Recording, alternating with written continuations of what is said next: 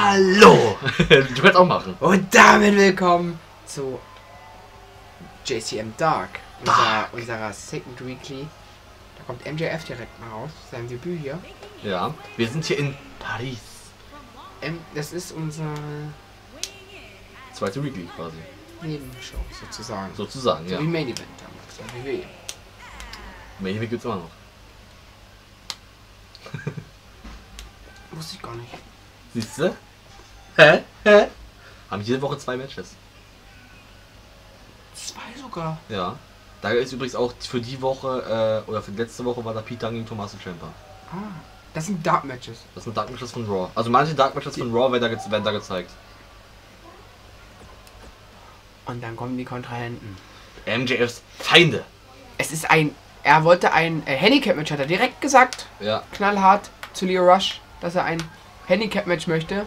Gegen, gegen Cole Quinn.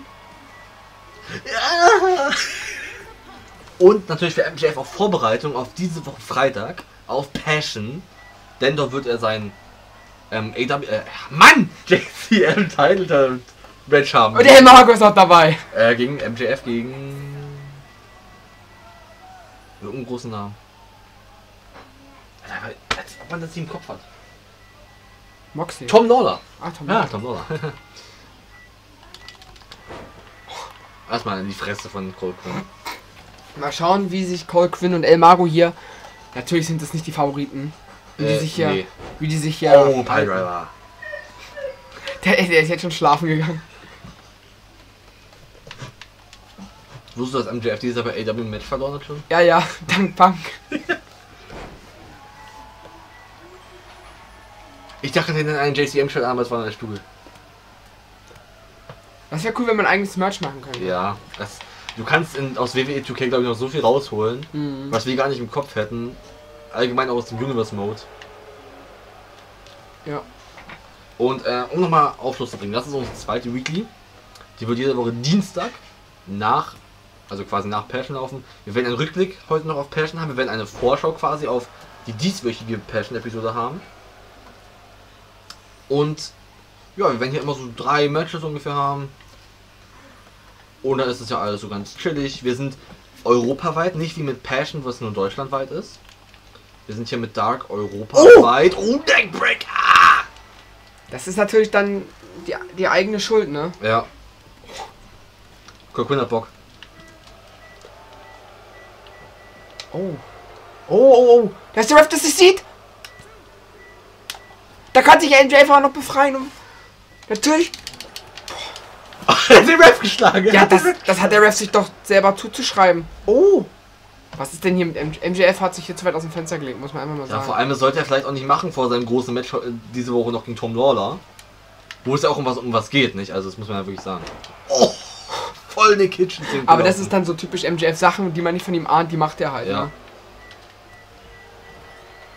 Ja, er ist halt better than you. And you know it. Ja. Sein Tag-Team. Zusammen mit Omos. Die beiden haben aber noch gar nicht zusammen gesehen. Na gut, wir, die Show gibt es ja jetzt noch nicht lange. Die war ja noch gar nicht Vielleicht- zusammen gesehen. Vielleicht gibt es da auch mal irgendwann bei Dark oder so ein Tag-Team-Match zwischen den beiden. Vielleicht ist Omos ja diesen Freitag auch an MJFs Seite. Ja. Boah. Elbow Drop. Elbow Drop. Natürlich, MJF hätte das Match hier, glaube ich, schon lange beenden können. Weil die beiden sind ja Oh. die Jobber hier. Oh. Nochmal der Piledriver, diesmal gegen El Mago. Ja. MJF wärmt sich, also für MJF, er hat ja auch schon im Interview gesagt, dass das für ihn ein Aufwärmmatch ist. Ja. Und er natürlich seinen Lieblingsmove hier macht. Das ist natürlich sein Lieblingsmove, den macht er ja gerne. Der Piledriver. Ja, den hat er öfter auch in der Vergangenheit gezeigt. Das stimmt allerdings. Und er hatte auch mit Tom Lawler an diesem Freitag einen Mann, der sich sehr, sehr im Mixed Martial Arts auskennt. Ehemaliger MMA-Fighter, war bei der UFC. Also das ist auch ein hochkarätiger Name. Und da wird natürlich weiter eingetreten und eingeschlagen auf El Mago, der eigentlich schon hilflos ist.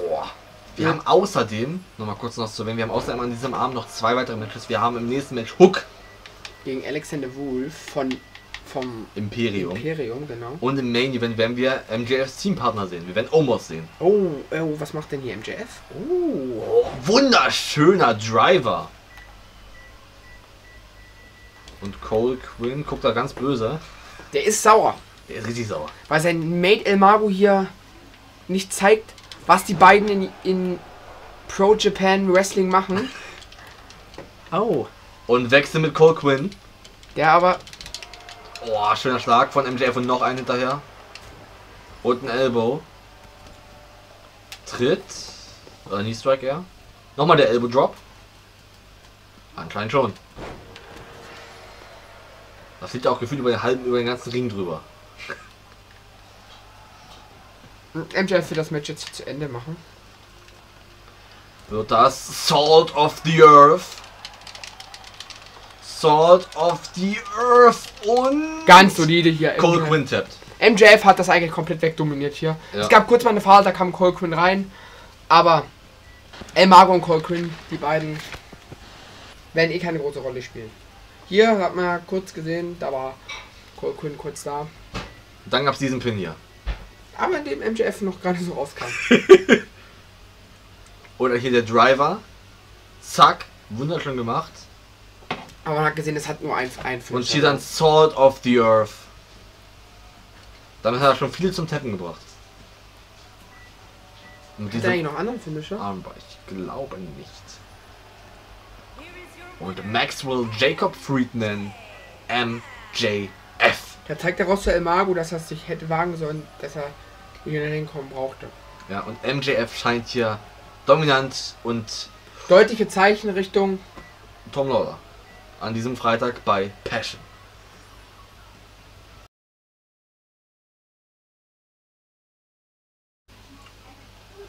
Wir kommen zum zweiten Match von Dark hier aus Paris. Und wir haben zuerst einmal hat Axel hat Axel schon mal ein Match bei uns gehabt bei der ersten Passion? Ich weiß es gar nicht. war klar, dass das Tor hier den Pushcast Award kriegt. Ja moin, Digga. Oder Oh. haben wir ihn? Die, We die FIF Pro World XR ist da. Donnarumma, Bonucci, Diaz, Alaba, Jorginho, Kante, De Bruyne, Haaland, Lewandowski, Messi, Ronaldo. Top. Da haben wir ihn. Axel Tischer. aka Alexander Wolf. Alexander Wolf. Alexander Wolf. Alexander Wolf. Der Mann von Imperium. Wir haben bisher von Imperium nur einen Mann bisher gesehen, nämlich Walter. Walter. Der im Ach, Chamber-Match. Scheiße, wie ist das Teamfang nochmal? Aber ich kann den Song nicht. Den Song muss ich noch lernen. Der ist schon geil. Auf jeden Fall kommt irgendwas ein Ja. Motherfucker vor. Ist ja auch geil, der Song. Der Song ist mega. Chairman's Intent heißt der Song. Axel Tischer ja eigentlich kein Einzelkämpfer hier. Ne, er hat Imperium dabei. Aber nicht an der Seite jetzt. Ich glaube auch, weil Walter. Oh! Ich glaube auch, weil Walter ein bisschen K.O. ist und sich Fabian eigentlich noch Master Bartel vielleicht mal um ihn kümmern müssen. Achso, wir haben hier Infos, äh, dass Roman Reigns noch, äh, dass es noch nicht feststeht, ob er seinen Koffer behalten kann. Das werden wir erst bei Passion erfahren. Weil der hat sich anscheinend sehr verletzt. Das hat man auch am nach dem Match gesehen. Wir hoffen, dass alles gut wird. Ja. Aber das wäre natürlich krass für ihn. Ja, gewonnen und muss ihn aber leider direkt wieder abgeben. Ja, das wäre natürlich schade. Wir werden, wir werden sehen, wie unser General Manager Leo Rush das am Freitag. Wie unser General Manager Leo Rush das am Freitag ähm, klären wird mit Roman. Ob Roman das sagen wird, ob er selber das sagt, ob Roman überhaupt da ist bei der Show, ist die Das Frage. weiß man alles gar nicht. Und was sollte der Koffer vakantiert werden, was mit dem Koffer passiert? Genau. Jetzt der Big Boot aber nicht. Nicht der Big Boot. Nicht mit Hook. One, two. Nee. Da kommt Oh. Axel gerade so nochmal raus.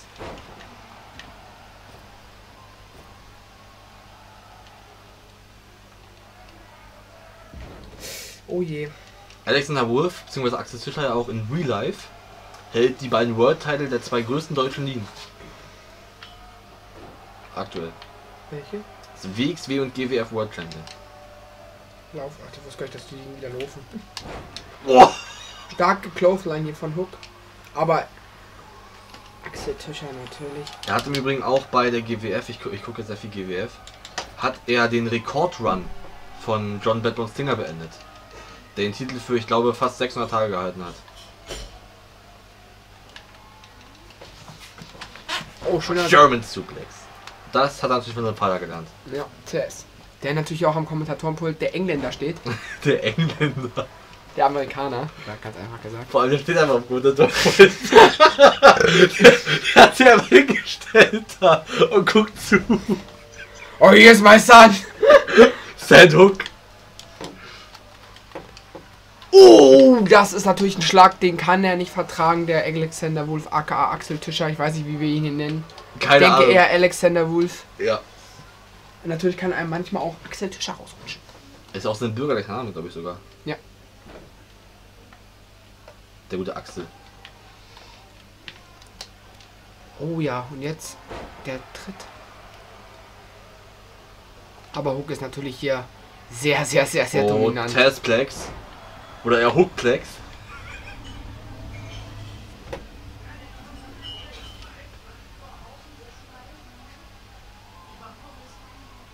Und was macht Hook?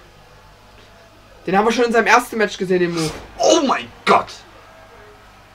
Ja, da zeigt sich Halsachse Oh. auf den Nacken. Das ging natürlich sehr auf den Nacken. Aber er scheint sich zurückzukämpfen. Ja, Axel hat natürlich auch Erfahrung, nicht? Ja. Und dann gibt es den Schlag auf den Rücken. Aber, Aber ins Leere. er zeigt Oh, natürlich... noch, Alter, was ein Elbow. Northern Lights. Aber Hook. Nicht mal bis eins.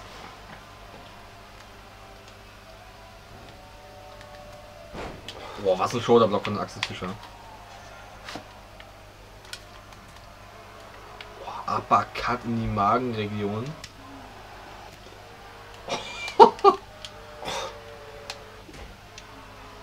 Boah! Da fällt er einfach um. Ja. Da war einfach Ende mit Axel. Und dann nochmal. Axel sieht auch so, als hätte er Nack was mit dem Nacken. Ja. Nach dem Move von Hook.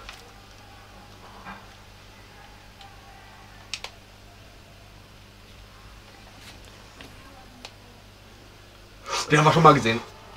Und wieder auf den Nacken. Wieder auf den Nacken von Axel Tischer.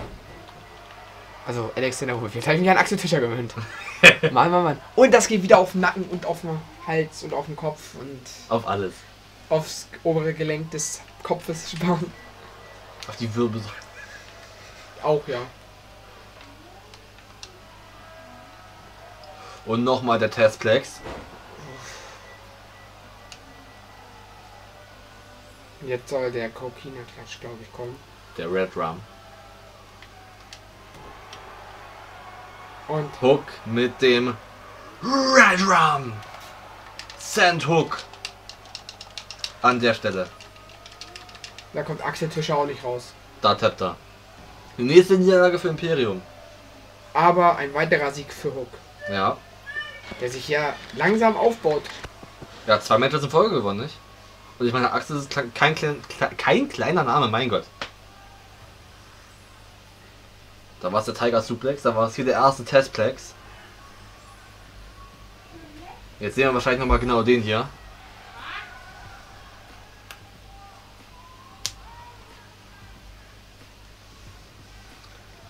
Und hier nochmal der zweite Testplex. Mein Gott, schweres Wort. Und Hook gewinnt sein zweites Match. Und Oh, da liegt da auch der Alexander Wolf. ja, der scheint K.O. zu sein. Und bevor wir zum nächsten Match kommen, hier nochmal ein Rückblick auf Passion. Hallo und herzlich willkommen zu unserer ersten JCM-Show nach der Rückkehr. Hallo und herzlich willkommen bei JCM, der besten Liga der Welt. Und wir werden euch zeigen, warum das so ist. Außerdem werden wir um den JCM-Titel ein 12-Mann-Turnier haben, wo heute noch ein Platz ausgekämpft wird und der Rest steht schon fest. Welcome to JCM, sagt am Ende nochmal. Ja. Wir kommen zum ersten Match und es ist Brian Cage gegen Mike Canellis. Und der Oh. Ringrichter hält ihn zurück. Das ist vielleicht die Chance für Canellis, aber nein. der Ref wird getroffen. Der erste Ref-Bump. Direkt im ersten Match hier. Und was hat er vor? Das Sit-Out Powerbomb. Dieser Alter. Mann, das gibt's nicht. Der Mann, der macht Bock auf mehr. Und einfach mal runter. Einfach weg mit dem. Was hat er jetzt vor? Hat der gerade eine Hand hochgehoben? Ja! Der arme. Oh, jetzt ist es soweit. er macht da weiter. Da ist Blut bei Mike Nellis. Das erste Blut dieser Show. Und der F5. Den Finisher kennen wir von ihm. Das ist Weapon X. Und natürlich das Cover hinterher. One, two, two, three. three. Alter, wie klein das nach einem Finisher war. Ja. Bobby Lashley gegen Moose.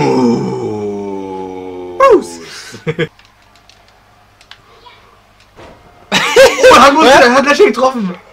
Oh. Oh, was sagt er jetzt vor? Schon wieder! Aber diesmal nicht. Diesmal nicht. Und oh, ach, Oh, oh. er hebt Moose einfach so hoch. Macht er schon den Dominator? Running Power Slam. Starkes Ding von, von äh, Moose, würde ich schon sagen. Oh! Ja, nochmal, ja, geil. So, oh, oh, Dominator. Der kam ganz unerwartet. Mit dem habe ich jetzt wirklich nicht gerechnet. Und das Cover. One, two, Free. Bobby Lashley gewinnt ganz überraschend, muss ich sagen. Ja, mit dem Dominator hat, glaube ich, Moose auch nicht gerechnet. Wir kommen zum ersten Match im, im JCM World Title Tournament. Und wir kommen zu Heath Slater, Baby. I got kids. Heath Slater ist im Turnier. Und ich möchte mal kurz. Was zur Hölle? Da kommt Kenny Omega und Taiji Ishimori. Kenny Omega ist ja Heath Slaters Gegner. Ich wollte eigentlich gerade noch erklären, Kenny Omega springt ins Leere. Ich wo- Oh Gott! Jetzt geht's Match Alter. offiziell los. Ey, also Kenny hat mal richtig Bock, war. Ich Ja, find die Hose geil. von Kenny. Ja. Oh, Neckbreaker. Ja. Oh Gott. Oh Gott, Reverse Frankenstein. Double Underhook. Double Underhook. Pile Driver. Das soll der One Ring Angel folgen. One-Winged Angel. Und das war's eigentlich.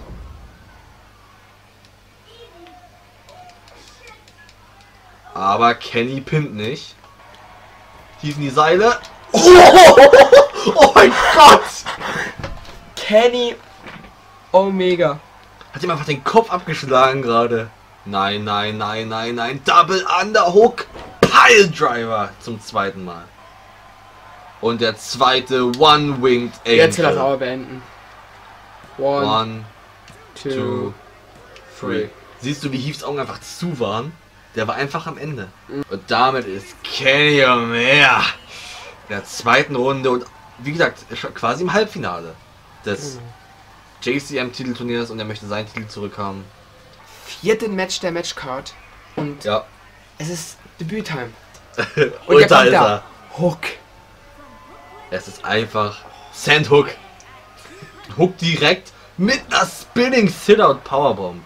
Oh mein Gott! Da merkt man, wie Alter. athletisch der Mann ist. oh, Und einfach mal hochkommen und Powerbomb. der arme Tyler Bretz. Nicht schon wieder. Es ist wieder dieser. Alter!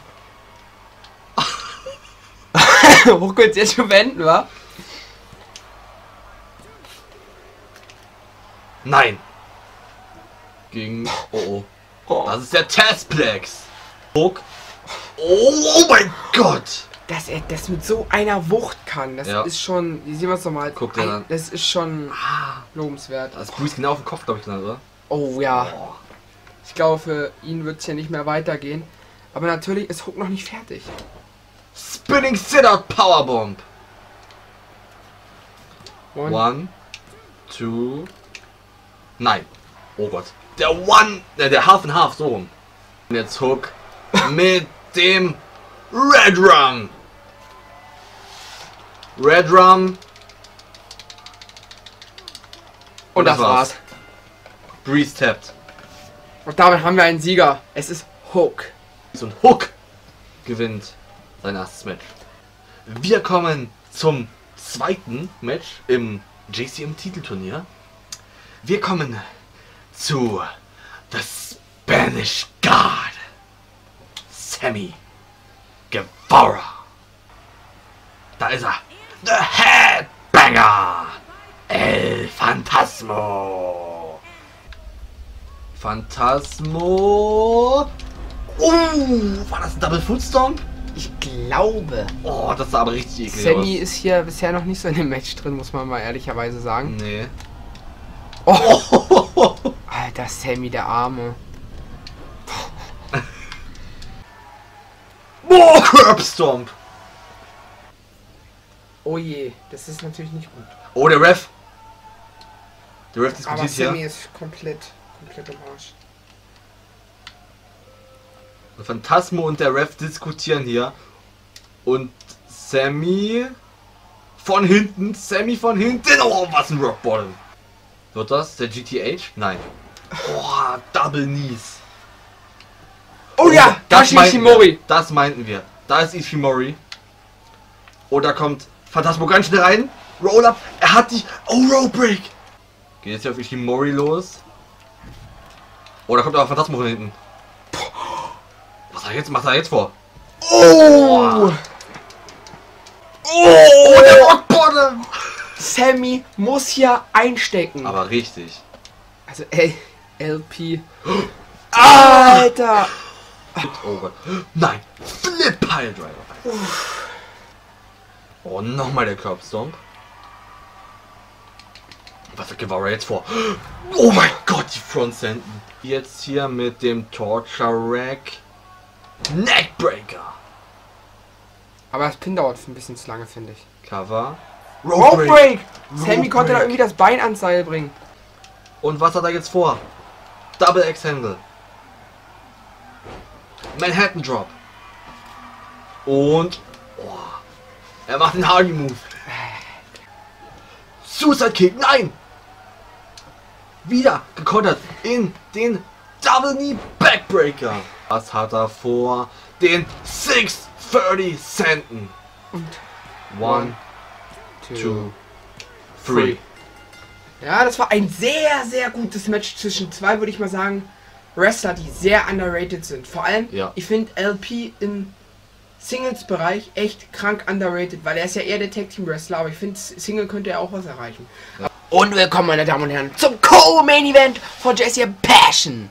Und wir haben hier den ersten und das ist das dritte Turnierrunden-Match, also das dritte Rund, äh, das dritte Match, Erstrunden-Match hier heute am heutigen Abend und es ist von der Undisputed Era Adam Cole Baby Brock Lesnar. So würde es jetzt zu Paul Heyman sagen, den er an seiner Seite hat. Den hat er jetzt schon seit Jahren an seiner Aber von Seite. Brock Lesnar haben wir keine Pyro. Alter, Fallaway Slam. Hast du Paul Heyman gesehen? Hat die Arme in die Luft gerissen. Jetzt kommt Suplex City. Der erste Suplex City schon. Der zweite.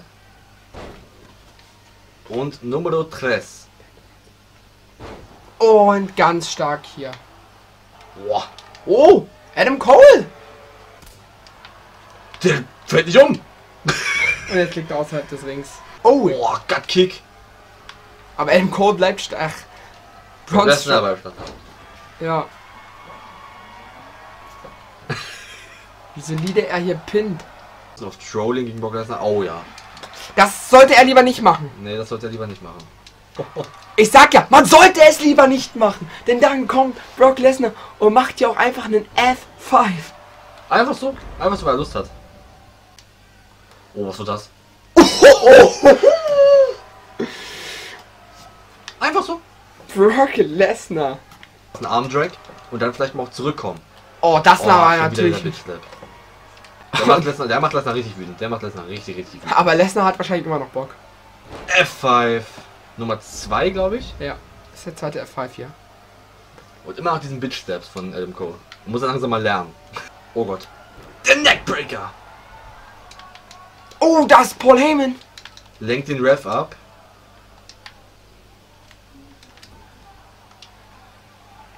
Oh, was hat er jetzt vor? Kick ans Knie. Wird das etwa der Panama Sunrise? Und Heyman rastet aus. One, two. Oh, Nein! Kickout von Brock Lesnar. Nein, nein, das reicht wieder nicht. Lesnar sieht sehr angeschlagen aus. Als Ja. wenn er irgendwo verletzt wäre, leicht, so kopfmäßig. Und natürlich, Adam Cole nutzt diese Schwachstelle auch. Oh, Ich hab's gerade gesagt. Blut bei Brock Lesnar. Und natürlich geht Adam, schlägt Adam Cole da, tretet da Adam Cole auch immer weiter ein. Er kann es nicht lassen. Mhm. Aber das wird natürlich wahrscheinlich wieder bestraft von Brock Lesnar. Oh. Der arme Paul Heyman. Lass den Arm noch mal in Ruhe. Oder verfehlt. Oh. Da ein bisschen Probleme zwischen den beiden. Man lässt im Crossbar von ihm ab. Oh. Der Konter! In die Powerbomb! Pop-up Powerbomb. Und er hält ihn fest. Immer noch. Oh! Drei Powerbombs. Powerbombs? Ja, nicht? Hm. Oh! Kimura Lock! Kimura Lock! Kimura Lock! Und das ein war's. Concept. Das war. In diesem, man muss sagen, aus diesem Move ist bisher einer erst rausgekommen, glaube ich, und das war der Undertaker. Dürfte der Undertaker gewesen sein, ja. Ich wüsste jetzt auch aus, aus, dem, aus dem Kopf niemanden, der aus dem Kimura rauskommt. Aber vielleicht Reigns vielleicht? Ne, ich glaube noch. Ne, ich glaube, den hat er gegen Reigns auch noch nie gezeigt, oder? Hat er nicht? Ich, ich hab Er zeigt dir ganz selten den Move. Ja, ich habe aber nicht alle Matches gegen Reigns im Kopf.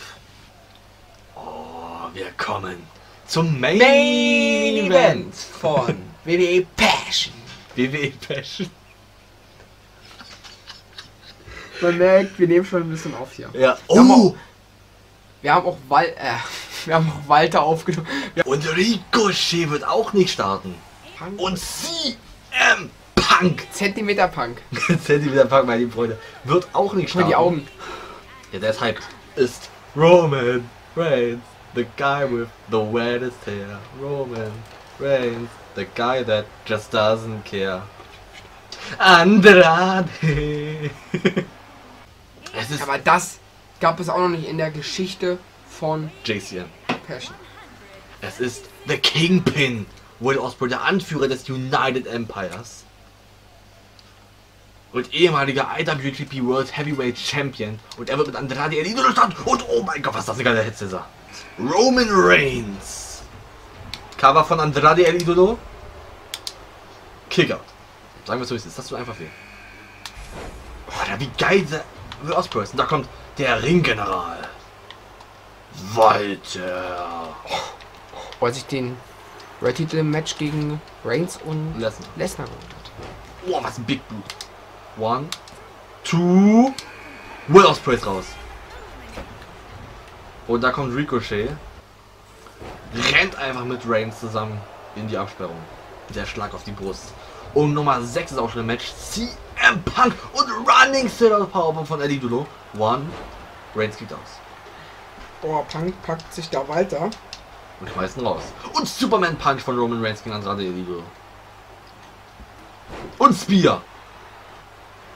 Punk rollt Walter ab. One. Nur bis eins. Cover gegen El Idolo von Reigns. One, two. Three El Idolos raus. Das wird die Walter Bomb. Gegen Ricochet. Ins Cover. Nur bis zwei. Und Punk, der sieht irgendwie nicht so aus, als würde man mit dem gute Kirschen essen können. Und Ricochet ein Roller. One, One. two, aber Nein. Oh, oh, er hat weiter getroffen. Ricochet trifft weiter mit dem 630. Und Punk DDT gegen Roman, Raymond Reigns, genau, Raymond Reigns. Oh, oh. Jetzt wird Ricochet schlafen geschickt. Go to sleep! Cover. One, One, two. two. Nein! Ricochet kommt irgendwie raus. Oh, Superman Superman Punch! Oh.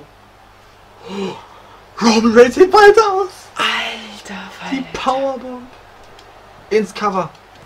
One, two, nein! Und Punk covert Ricochet, der Ref sieht's nicht. Jetzt. One, nur bis eins. Soll das Ende für Punk kommen. Oh, guck mal, Ricochet raus. Sparkle One, two, Walter ist raus. Und Anaconda weiß im Ring.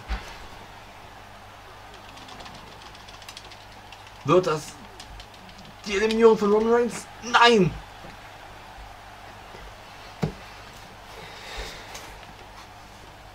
Und Ricochet Double Knee. Ein Roller. Nein! Oh. Die One-Handed Powerbomb. Ins Cover. One, two, three. Das war's mit CM Punk. Was macht er jetzt? Superman Match. Ricochet kontert. Mit diesem Facebuster hat er weiter besiegt. Oh. Upset Time vielleicht. Vielleicht Upset Time. Ricochet. 630 geht durch. Cover. Ja, mit Champion. One, two, two. Nein! Nein! Kickout von Reigns! Ich wollte gerade Kickout von Lesnar. Und Ricochet kann es nicht fassen, man sieht's hier. Noch einer vielleicht. Noch ein 630. Noch ein Nein ins Leere! Und jetzt kommt der Spear und dann war's das. Meine Meinung. 630 Oder ins Leere. Superman Punch. Noch einer. Was er jetzt vor? Oh! Ricochet ist schon im Arsch, jetzt soll der Spear glenken. Nee, Cover. Cover. One, two. two, three. Der Schlag hat, glaube ich, nochmal richtig rein. Das war ein richtiger Knockout Punch, glaube ich. Und damit ist Roman Reigns Nations Trophy Winner. Und damit wir beenden wir diese Show. Und wir sehen uns bei der nächsten Ausgabe von JCM Passion. Bis dahin und tschüss.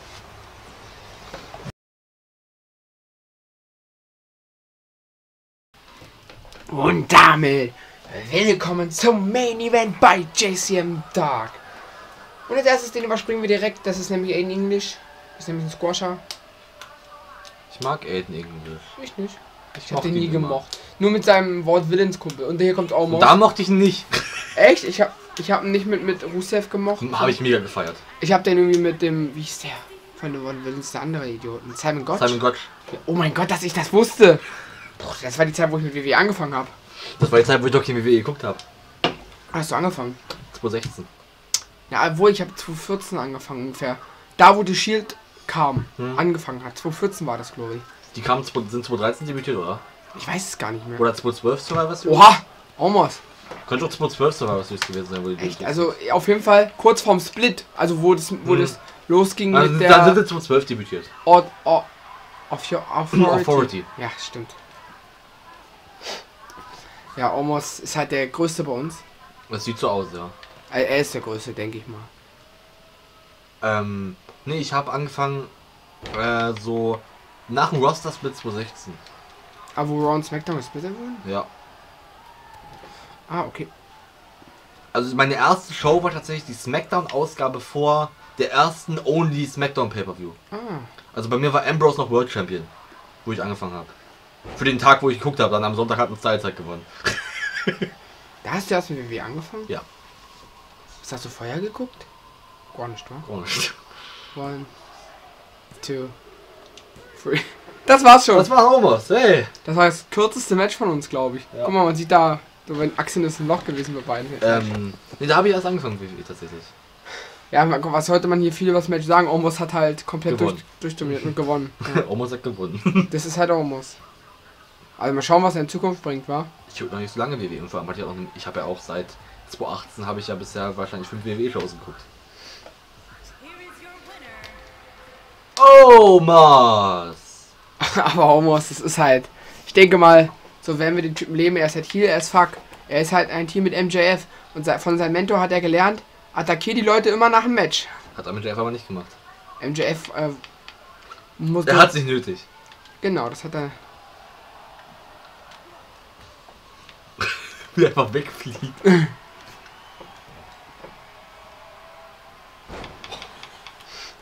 Du fliegst ja gefühlt aus drei Metern Höhe. Ja. Bupp.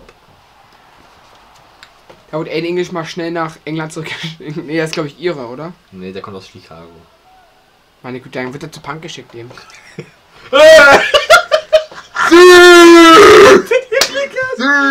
Und damit sehen wir uns bei JCM Passion this Friday.